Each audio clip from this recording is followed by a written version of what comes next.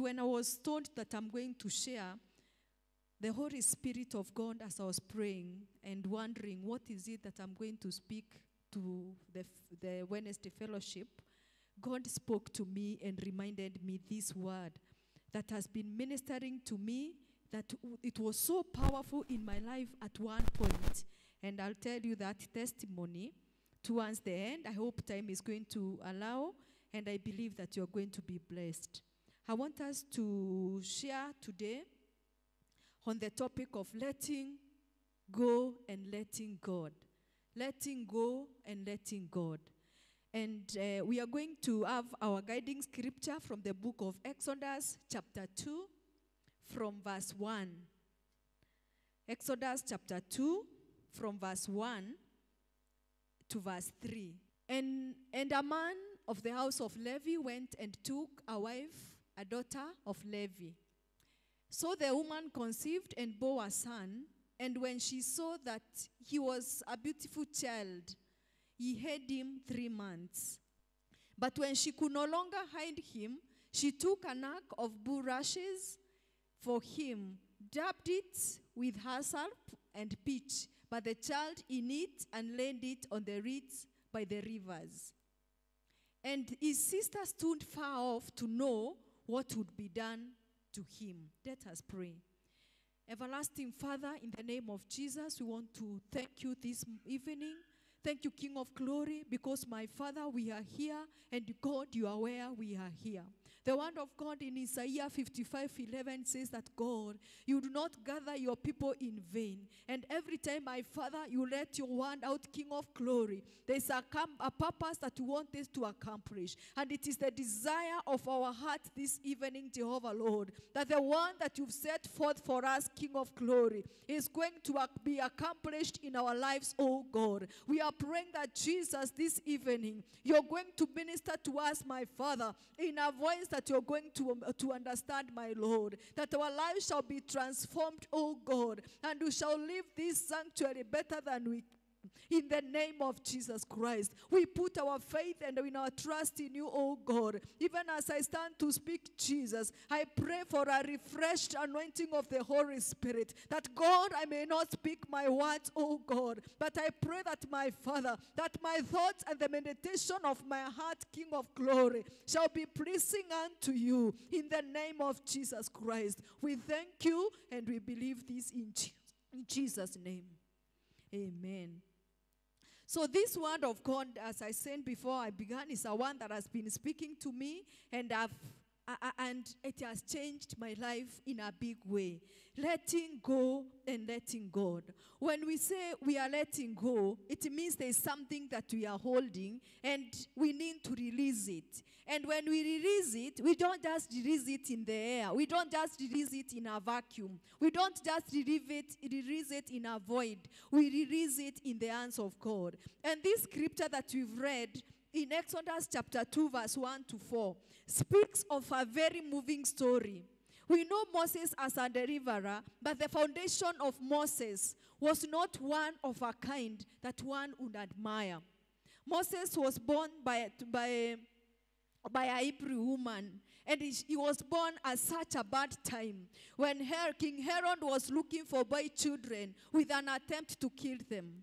So, in this scenario, when the mother of Moses bore this son, he looked at him and realized that he was very handsome.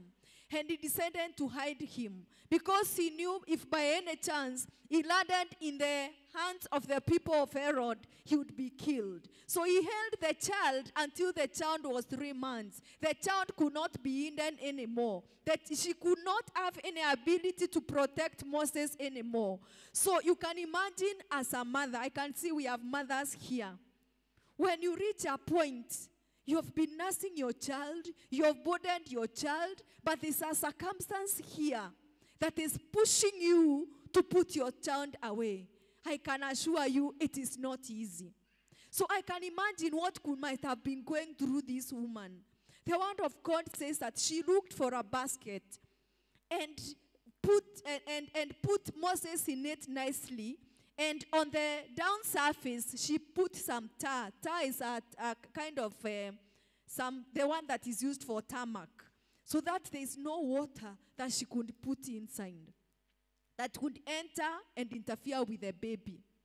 And as she was doing this, you could imagine the pain, the bitterness, and the anger she was feeling towards Herod. Because it is because of him that she had to do all this. You can imagine the number of questions that were going through her mind. At some point, she was wondering, God, why would you allow me to give birth such a time like now? But with all that, she did something that not many could do. She put the baby in the basket and went to River Nile. And we know River Nile is one of the longest rivers in the world. It is full of crocodiles and other dangerous animals. So as she put the, the baby there, it was a sign of faith. Praise God. So she went and put the baby in the river and just watched the baby being carried away. You can imagine how she felt in her heart. But when she did that, it was a sign that I have done my best. I cannot keep this baby any longer. But now I have to let him go. And when this woman let it go, I am sure God in heaven saw the pain and the pinch this woman hand. And from where she let Moses go, that is where God started. Praise the name of the Lord. Where she let Moses out of her hands, that is where God started. Actually, we are not told anywhere that she cried. We are not told anywhere she was worried. Actually, if you read the next verse, it is the sister Miriam who was so disturbed that even she kept on walking by the riverside. But you can be sure that was not long. Praise the name of the Lord. Being a very small child, she could have gotten tired, fallen asleep, so that was not enough security. But the fact that this lady let it go, God took over. Praise God. And it is the time that we need to examine ourselves and ask ourselves, what is it that you have been holding for so long? What is it that has been pulling us down for so long? What is it that has rendered us peaceless for so long? What is it that you've been carrying in our hearts for so long? God is calling us this evening that it is the high time we let go and let God. Praise God. We remember even Abraham in the book of Genesis, chapter 22, from verse 1 to 9. I'm not going to read because we are short of time, but I'll just paraphrase. When God spoke to Abraham, he told him to rise up early in the morning and go and sacrifice his son Isaac. And he specifically said, and you offer him as a burnt sacrifice. Another situation that would call someone not to do what they are told to do. But the word of God says that Abraham did not even question God. He woke up early in the morning, he packed the firewood, he took his son and put him in the donkey and went to sacrifice. And he went. Actually, here the other the other people who are concerned, when they were just about to reach the mountain that they are going to sacrifice, it is Isaac who was wondering, we have the firewood, we have prepared an altar, but where is the lamb? And the father was still not worried. He said that God will provide. Praise the name of the Lord. And when God saw how Abraham let Isaac freely from his heart, God began there. Bwana asifiwe. And it is at that particular point when Abraham lifted his sword, ready to kill the child, the angel of God came and spoke to Abraham and told him, Do not kill your son. Look aside. And he saw a ram and he took it and sacrificed it. Praise the name of the Lord. Another indication that indeed we want things so firmly when we are only supposed to let them go. And when we let them go, God takes over. Bwana Yesu asifiwe. When we let them go, God takes over. In our sharing this evening, I want us to reflect. And, and as you want to let go, you must come to a point that you need to identify what is it that you need to let go in your life. You cannot let go things that you don't know. What is it that is pulling you down? What is it that is giving you a sleepless night? What is it that is making you shed tears? What is it that has been making you grumble? And Hebrews chapter 12 and verse 1. Hebrews 12, verse 1. It says that, therefore, we also, since we are surrounded by so crown, a great crowd of witnesses, let us lay aside every weight and sin which so easily ensnares us, and let us run the race, we run with endurance the race that is set before us. The word of God is reminding us that now that we are surrounded, there are so many people that are looking up to us. We need to aside every weight and every sin. Give us the song, Song of Songs or Songs of Solomon 2 15 to 17. The word of God says, Catch the little the foxes and the little foxes that spoil the vineyard. For our vines are tender, have tender grapes. And then Proverbs 6 16 to 19. Proverbs 6 16 to 19. The six things that God hates. Yes, the seven are abomination. Next verse. A proud look, a lying tongue, hands that shed innocent blood, a heart that devises wicked plans, feet that are swift in running to evil, a false witness who speaks lies, and one who sows discord among brethren. Praise the name of the Lord.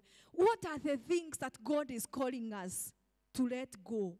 We need to let go of the, the foxes, the things that look so big, things that are like unforgiveness, the shedding of innocent blood. You know, we, we can kill someone even just merely through our words. You can destroy someone by the, the, the words that you speak against them. And that's why the book of uh, Proverbs is telling us the things that God hates. Those are the things that we need to let go. And he's naming them the lying tongue. You know, we are looking like a lying is not really a big thing. And that's why the, the songs of Solomon was saying, Catch for us the foxes and the little foxes. Bwana asifiwe. So the lying may look like it's a small things, but it is among the little foxes that destroy our vineyard, that hinder us from reaching the promises of God. Then he talks about um, in letting go the things that God hates. A heart that devises wicked schemes.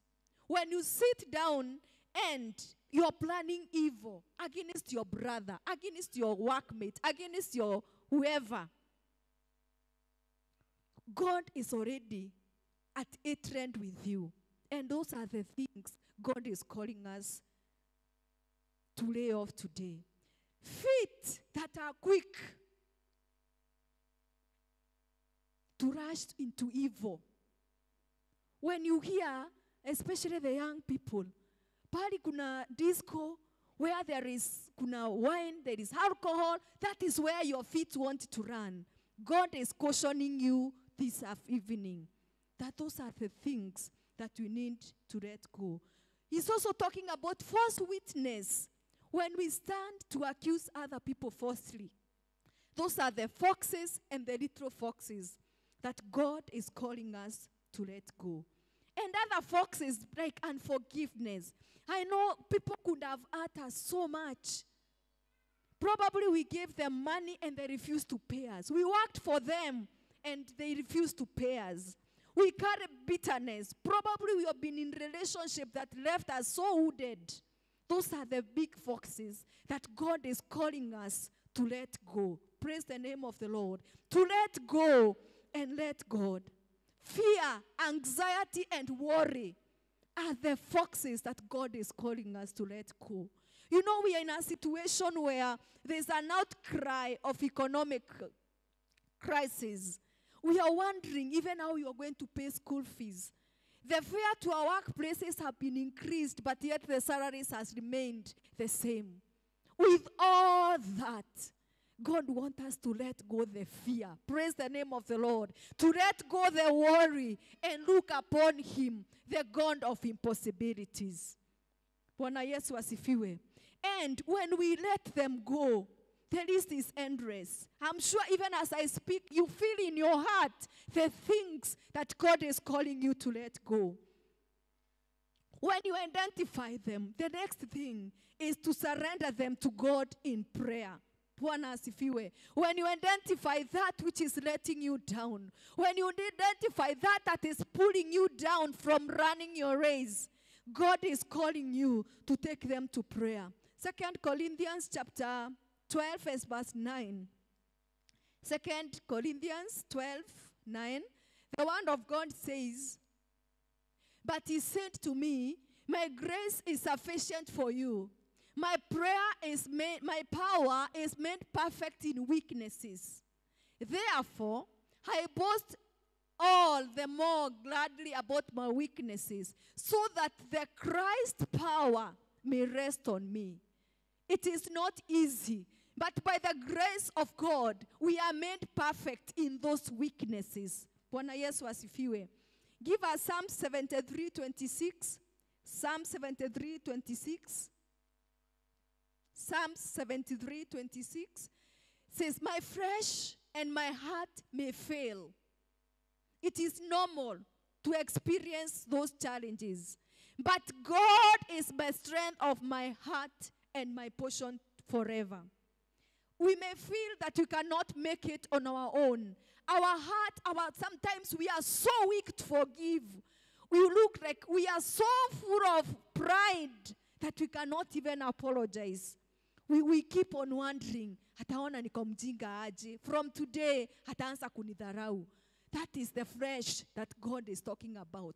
That may fail, but the grace of God will give us the strength that we need, that we may let go. Praise the name of the Lord. Jeremiah 32 27. Jeremiah 32 27 says that, uh, Behold, uh, Uh, I am the Lord, the God of all mankind. Is there anything too hard for me? What is so hard that you feel that you cannot let go? What is so hard that you feel that on your own you cannot make it? God is speaking to us this evening and is reminding us that He is God of all mankind. He is the God of the weak. He is the God of the strong. He is the God of the weary. He is the God of the sick. And there's nothing that is too hard for Him. When we surrender this to God, we should do it by faith. Just like Abraham took a step of faith without knowing what is going to come. Just like the mother of Moses did things without knowing where Moses will land. And our faith in God. So after we have surrendered number three, now we shift our focus and our mind and push our hearts to trust God and believe that He has taken over. We have identified, we have surrendered them. Now we have to make our mind believe and trust that God has taken over. Philippians 4 6 to 7. Philippians 4 6 to 7. That says that do not be anxious about anything. In everything, by prayer and petition, with thanksgiving, present your request to God.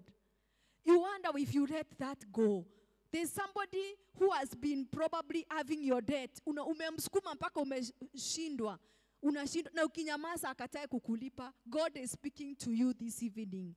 Be anxious about nothing, but in everything by prayer, petition and thanksgiving make your requests known to God. Matthew 6:25 Matthew 6:25 Paraphrase 25 to 33 talks about that uh, you should not be anxious of what you will eat or drink or what you're going to wear. And he says that you look at the birds of the air that do not plant, they do not harvest, but God provides for them. How about us? Look at the birds of the air. They do not sow or reap or store away in barns, and yet your heavenly Father feeds them. How are, are you not much more valuable than them? And then there's another verse that really challenges them, me. Verse 27. It says, Who of you by worrying can earn a single hour of your life? When you carry all that worry, when you carry all the anxiety, what is it can you change? Praise the name of the Lord. What is it can you change because you're very anxious? Once we surrender to God, let's walk by faith and believe that we are safe in the hands of God. Sometimes it is not easy, but as you have said, it is the grace of God that help us in our weaknesses. What happens when you hold and we don't allow God?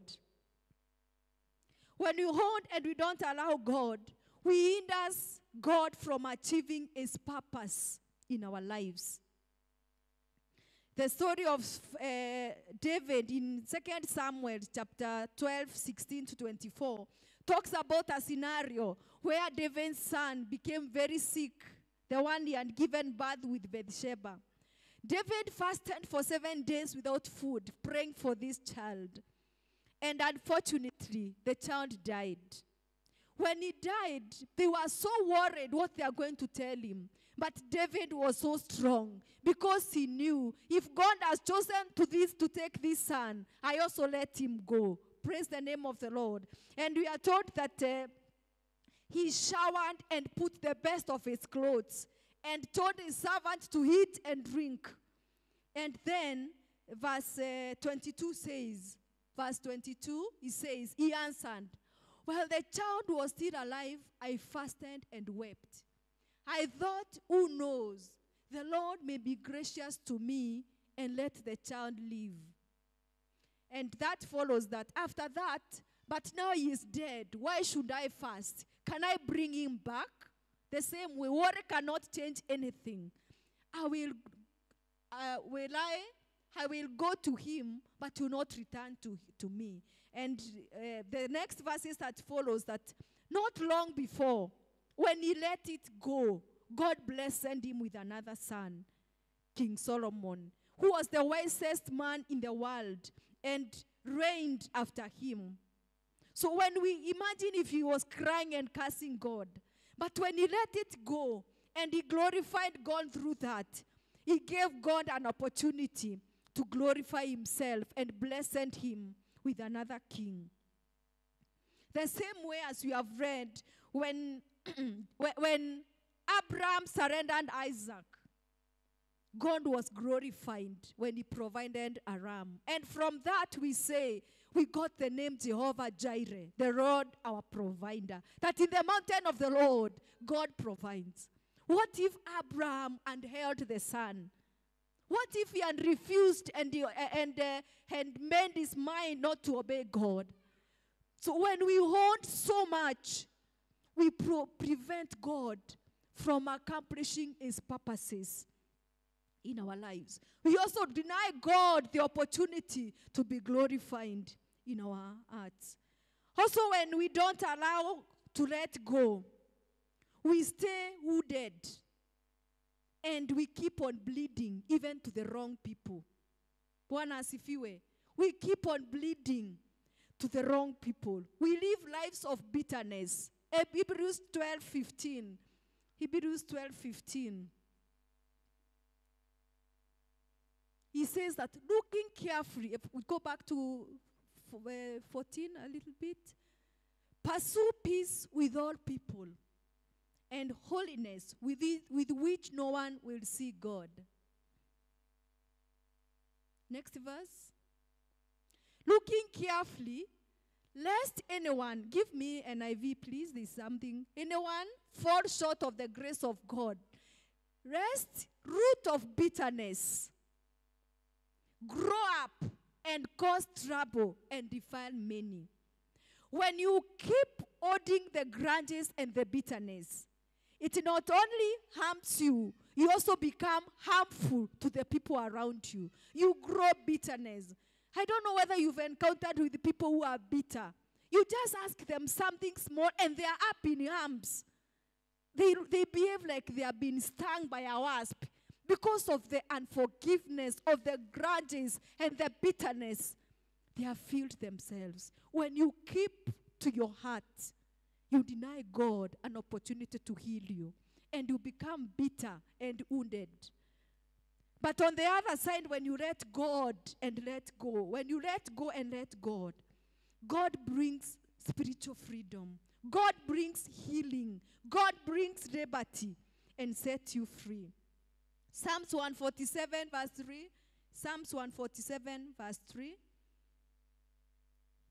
He says that He heals the brokenhearted and binds up their wounds. When you surrender to God, those wounds that have been recurring over and over again, that is what God is interested with. He heals them and binds up. Also, when we let go, we allow ourselves to make the best of things. We, we, we, we, we allow better things to rise up. Genesis chapter 50, verse 20, the story of Joseph. We know Joseph was in a very hard and challenging situation when he was sold by his brothers. He had every reason to carry bitterness. He had every reason to be unforgiving. But he chose otherwise. We never had Joseph complaining even a single day. Instead, in Genesis 20, 50, 20, he says, when the brothers came to them, he never even told them what they had done. It is them that realized that they had done wrong to him. And he said, You intended harm to me, but God intended it for good to accomplish what is now being done in saving many lives. So when we let go, we give an opportunity for the best of things. The more we owned, the more we deny great things happening in our lives. And as I conclude, also, when we let go, we free ourselves from needless worries and anxieties the things that gives us sleepless nights. When we let go, God gives us peace. Second Chronicles 2015. Second Chronicles 2015. He talks about uh, when King Jehoshaphat went to the battle. And he realized that uh, it was such a big battle that he could not conquer. He was so afraid. But God spoke to him and told him, Do not be afraid or discouraged because of this army, for the battle is not yours. The battle belongs to God. The fights that you're fighting are not your fight, they belong to God. So when you let go, those fears, you give God an opportunity to take over your battles and fight for you. And lastly, First Kings, I'm really rushing through because of time. First Kings 17, 8 to 16. Kings 17, 8 to 16, about the, the widow of Zarephath. She was visited by Prophet Elijah in a time of famine. And the only thing she earned was a little flour and oil. And she was telling uh, Prophet Elijah that this is the only thing that we have. We eat with my son and we die. But Elijah, being a man of God, he demanded, Go and prepare something for me. This lady, with all the fear, with all the anxiety, did not refuse. And when she gave in that little flour, when she gave in that uh, oil, it gave the best of the moment. She never lacked oil and flour from her house until the famine was over. That is my encouragement to you, my dear brothers and sisters. We have held things so much, they are wearing us down, but God is calling us. We can only have the best of the moments when we let go and let God. There are times that you are faced with challenges and we don't know what to do. Let's go and let God. Ambia Mungu umefika mwisho and let God take over. There's one time I said I'll give you a testimony when before I leave. I've seen this. This is among the many other testimonies that I have about letting go and letting God. When I was leaving my precious, my previous uh, workstation, I left in a time of transition. We under a principal that would stayed there for over 10 years. And during COVID time came another one who was very new to the system, actually was not even Kenyan, and was not really sure how things are done. So I was myself, I don't know for whatever reason, and some other, like five other teachers had gotten greener pastures and we wanted to leave. Initially, the principal who left was, um, wa- wa- was giving tokens of appreciation, especially for teachers that had served for long. So when this other principal came, he said that there's no document that shows that you needed any appreciation. We have been paying your salary, we have given your pensions, we owe you nothing. And he made it very clear. I went home. I remembered how much I had served in that institution for a long time. And I remembered the words of God in the book of uh, Exodus. The works, wa- uh, Exodus, and written them somewhere.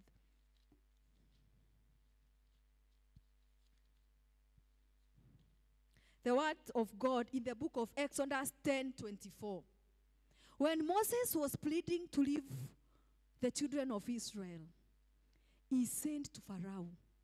He was saying that you go, he was like, go with men only and leave your children and wives. But he said, then Pharaoh summoned Moses and said, Go worship the Lord. Even your women and children may go with you. Only leave your flocks and your hands behind. But Moses said that, but Moses said, You must allow us to have sacrifice and burnt offerings to present to our God. Verse 26 says, Our livestock too must go, no hoof to be left behind. We must use some of them in worshiping our God. And until we get there, we will not know what you are going to use to worship the Lord. This word, God spoke to me when I was praying that there's anything that belongs to me in my previous station, I am not leaving it behind. Praise the name of the Lord. I said I am not leaving anything that belongs to me. And we are told in our meetings, the, the, the, the, the new principal spoke to us in a meeting like this. I went to my knees and I said, God, this gentleman has said, but I know you are the final word. I said, God, I am not going to fight. I leave this battle to you. But one thing I know anything that belongs to me, I am not leaving it behind. Praise the name of the Lord. So we were supposed to sign our last letters as we receive our certificates of appreciation and everything. I went to the office of the human resource and he told me that thank you for the service that you've been giving to us and now we wish you well. I told him, There's nothing else you're giving me. He said, You are told, there's nothing you're carrying here. I said, No. For me, I'm not yet done with this place. Praise the name of the Lord. He told me, Unless you go to the principal, the new principal himself, and talk to him. But at the moment, he's not in the country, but he's supposed to come today. But I don't know what time he's coming. I asked him, Can you give me his number? He said, No. So when I was walking, I found the corridor being cleaned. Venye corridors zinaoshwa. So singe, I there was a lot of water that was poured down there. So singepitia hapo. He told me, he saw me from the office there where I was wondering where to step. He said, There's another back door that is only used by priests because it was an institution led by priests. Imagine the miracle of God. When I stepped on that corridor, guess whom I found? The principal who was abroad. He had just arrived. Praise the name of the Lord. So I just went and talked to him and asked him, How are you? He didn't even know me well because he was new. I introduced himself and I told him how long I had worked in that institution and I was leaving. And I told him, I remember what you said. But I asked him, Do you think it is fair just to say, to wish me well and go? And believe it or not, he told me, I don't know you very well, but I will inquire. And in case there's anything you need, I will call you. I went home and started thanking God and telling God, this is not my battle. Because, you know, there are those others who are left in the past, and we know the packages that they are left with. It was such a big institution. Money was not really a problem. So I went and went home. I continued praying and telling God, I'm not leaving anything behind. Like around three, four days, I saw a new number because I didn't even have his number and told me to go to that institution the following day. When I went, I was directed to the office of the same resource person who had dismissed me. And he told me, I don't know what you talked with Father Peter, but there's a message for you. And guess what? I think that should not go on air. There was a check of 100,000 as a token of appreciation. Praise the name of the Lord. So sometimes we struggle with issues that our God can handle. There's nothing that is too hard for God. Stop struggling with those small battles that you're struggling with. Lift your faith to God and let God fight your battles. Praise the name of the Lord. Let God fight our battles. When we let God and we let go, God takes over. And He gave me caution that of the five of us who left, I'm the only one who was given the token by the grace of God. So I am encouraging my brethren stop fighting losing battles. Enough is enough. Just let go and let God, and our God shall be glorified.